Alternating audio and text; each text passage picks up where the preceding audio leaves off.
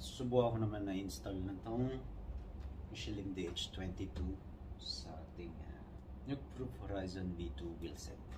Yan. Ito nga pala, dadating na sa'yo na naka-ring tape na. So wala ka nang gagawing pare-convert siya na tubeless kasi pang tubeless na talaga siya. Ayos, di ba? Tapos meron, meron na siyang kasamang ah, valve. Nakakabit na talaga. So yan, subukan natin install na.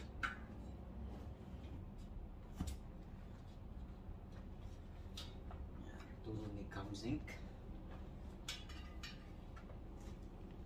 Kasi siya, nakabit niya ng mabilisan na yung gulong niya.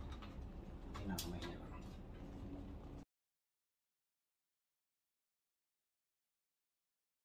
Tigas nga.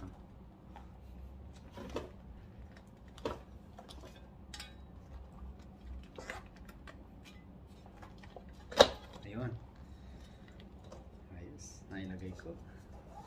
First bid in. Ayan. Naipasok ko na. So ngayon, kakabit ko na rin yung ARD. Ayan.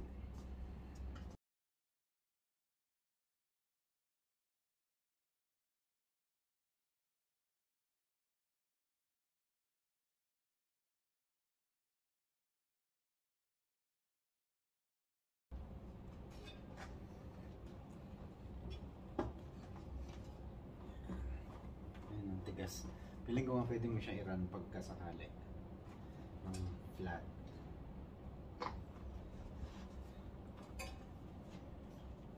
Sensya na po, hindi ako professional eh. Pero hanggat- hanggat maaari, ginagawa ko tong mga maintenance ng bike ko sa sarili ko lang. Tututo na rin ako. Ko nanonood lang ako sa YouTube, ganyan. Tututo na ako. Tapos at the same time, nakakatipid pa. Kasi hindi mo kailangan pumunta ng bike shop para gumastos.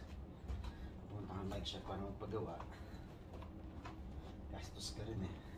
Lalo na't makakita ka pa ng mga parts na gusto mo. Matutokso ka pa. Yeah. Hirap lumalabas kasi. So ayan, makikita mo talaga na yung protection niya is ayun sa rim mo. Kay babaw siya sa rim. So I think medyo mahirap ipasok to. Challenging.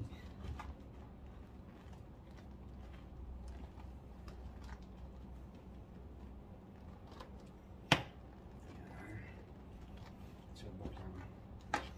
Kaya ang pinakamahirap ito yung pinakadulo.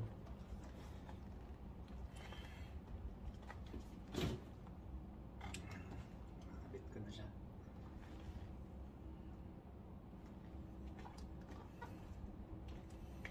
Ayan na. Ito na yung pinakamahirap na parte. Ayan.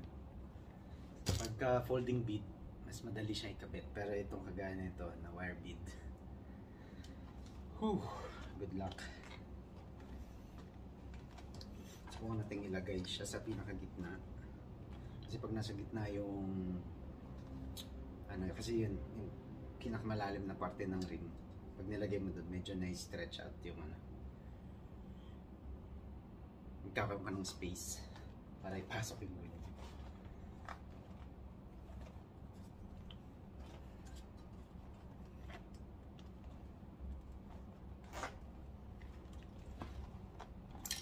Ah, grabe ka pa isa lang. Ah, konti na lang.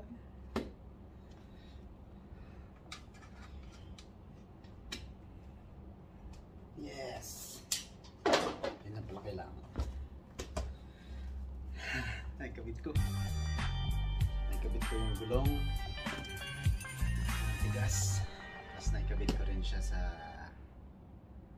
nakasama yung ARD. Ayan. Wala akong sealant. For the meantime, okay na muna yan. Let's see. Babombahan ko na. Ito pala isang problema. Ang pambomba ko lang dito, yung maliit lang. Pero subukan ko pa rin. Good luck sa akin.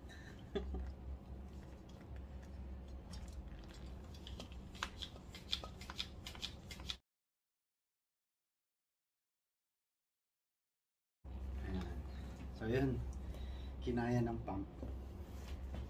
Kinaya nito. Ayun, dahil maganda yung pagkakaupo ng gulong sa rim. So kahit na mahina yung pressure ng pump, na-inflate pa rin siya. So ngayon, chinecheck ko lang kung naupo ba ng tama.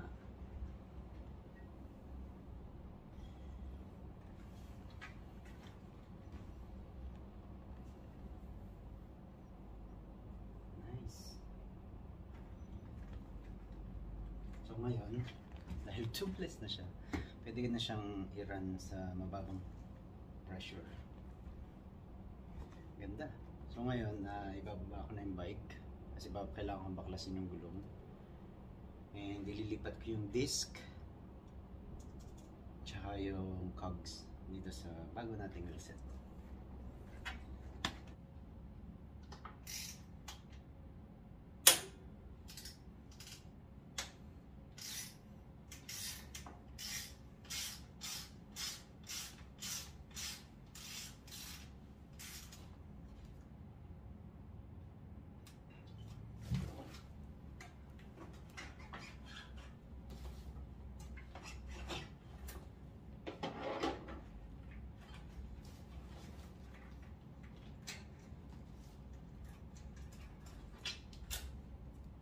na natin tanggalin yung disc.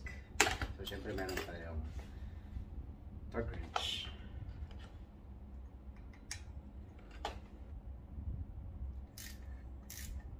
Meron din tayong Loctite para sa mga bolts para siguradong hindi kakalas, hindi luluwag.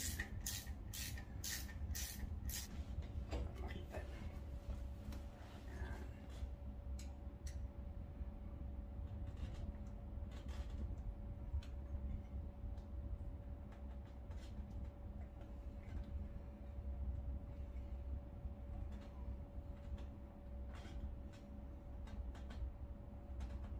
Ay, hindi. Dito pala mismo sa disk may nakalagay kung anong value ng mga bolts.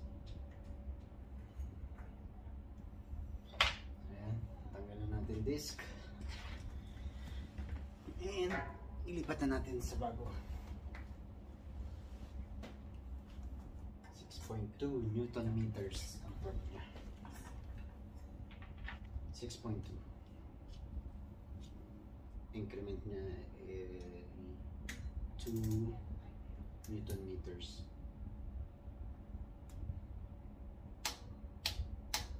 Okay, two clicks. Siyempre gagawin natin siya ng staggered to the opposite after the other.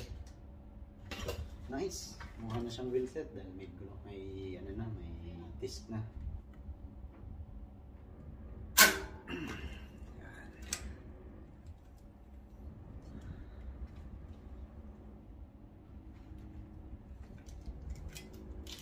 Dapat kanina pa kami.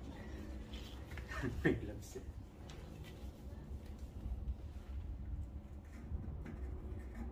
So yan, tanggalan natin yung cogs.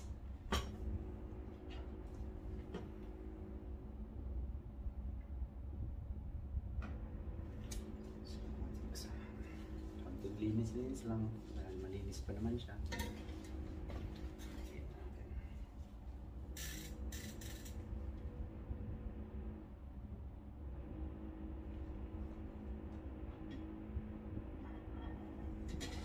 Yun.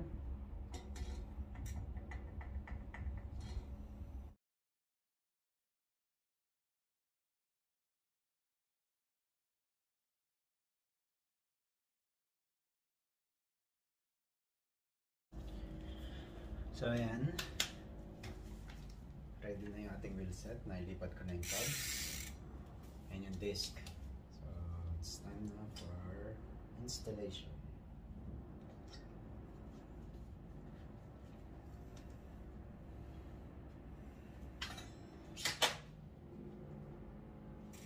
Rear axle, 15 newton meters.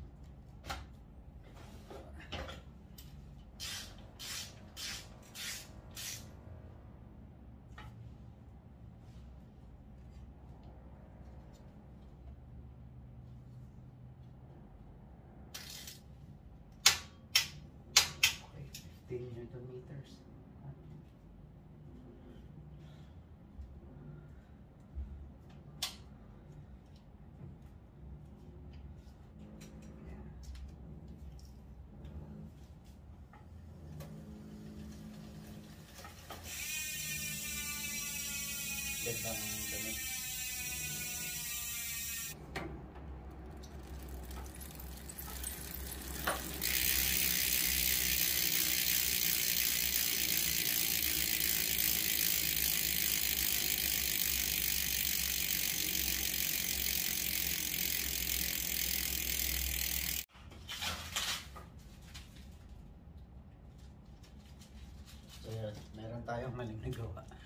Hindi ko na kaya pang hindi hindi kasi siya naka-align sa derailleur.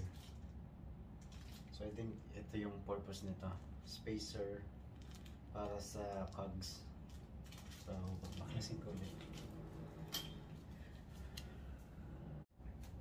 Ayan, tapos na nating palitan ng gulong. Ayan. Mulat na ngayon ng ating bike. From 29 inch sa likod, 27.5 na lang.